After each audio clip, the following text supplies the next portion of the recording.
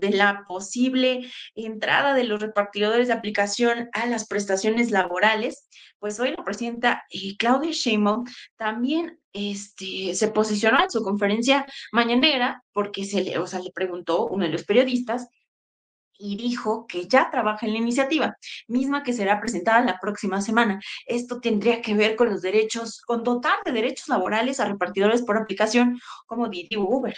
Este, vamos a ver rápidamente lo que dijo y regresamos a comentar pues esta información. La ley que ya la tenemos elaborada, em, sería bueno que se explicara. Normalmente se contrata a un repartidor eh,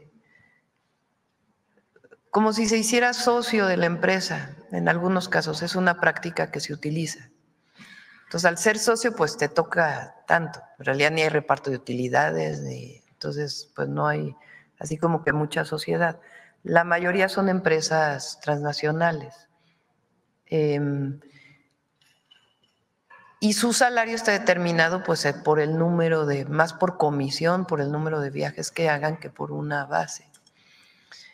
Y no tienen seguridad social. Y ellos sí viven muchos accidentes. Muchos de ellos utilizan la motocicleta para poder hacer, eh, para poder repartir.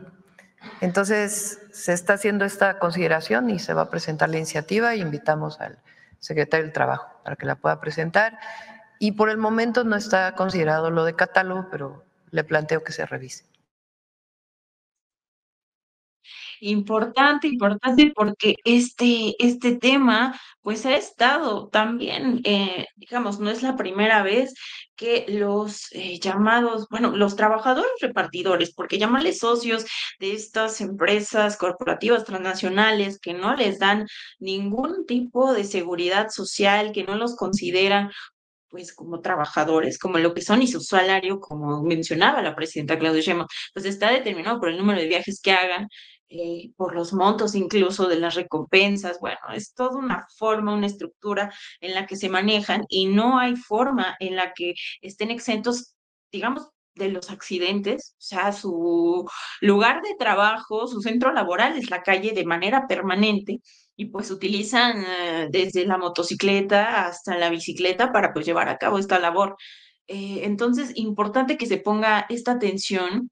Hay una, hay demandas muy puntuales en otros países, eh, de, en otras experiencias también de Latinoamérica, pues ha habido ya organizaciones laborales, sindicales, para poder tener, pues, digamos, esta unión, esta, exigir a los gobiernos, pues, que se hagan y se, se vigilen las condiciones en las que están, eh, o sea, su seguridad social ha sido un tema que no ha estado eh, eh, o sea, sobre la mesa, no se ha legislado lo suficiente. Entonces, pues es esperanzador el hecho de que la presidenta diga, es importante y va a venir el secretario del Trabajo a plantear esta iniciativa que se está eh, poniendo. Entonces, importante también ver el, contenido.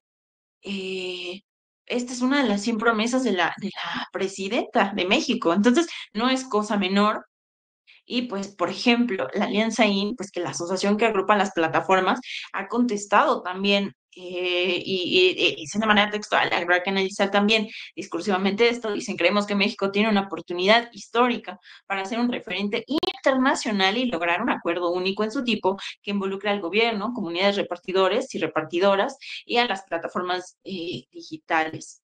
Pues también eh, el organismo dice que está listo para participar en la construcción de un mecanismo que facilite el acceso a la seguridad social para personas repartidoras, con la contribución de las plataformas. Pues lanzan un comunicado y hacen pues este llamado a que se abra el, diálogo, que sea plural, que las partes involucradas, finalmente a quienes va destinado a quienes impactará esta medida, pues eh, eh, sus voces estén en el centro. Importante este comunicado y, y dicen, ¿no? También lo ponen ahí sobre la mesa. De acuerdo a la casa encuestadora Buendía y Márquez, alrededor de 43 millones de personas usan plataformas digitales en México. Tiene que ver, pues, para adquirir productos y servicios, y, eh, eh, la alianza, esta alianza Inc., pues, dice que hay canales que ofrecen ingresos de manera independiente para 2.5 millones de personas en nuestro país. En este documento, pues, hablan de 2 propuestas para lograr, pues, que se constituya, pues, esta seguridad social a los repartidores. Para empezar, pues, este espacio de diálogo plural donde se escuchen estas voces, pues, de las personas finalmente destinatarias de esta iniciativa, y también, pues, presentar propuestas de dat que te que tengan, pues, los datos, la evidencia y que tomen en cuenta, pues, eh, cómo se se se ha llevado a cabo, cómo se ha legislado a nivel internacional y cuáles son las discusiones que se han avanzado, porque, pues, también se parte de, eh, pues, de todo un un espectro que claro que está ahí, que que es importante atender, y y, pues, que sin duda afecta, pues, a toda esta este gremio, a todos estos trabajadores.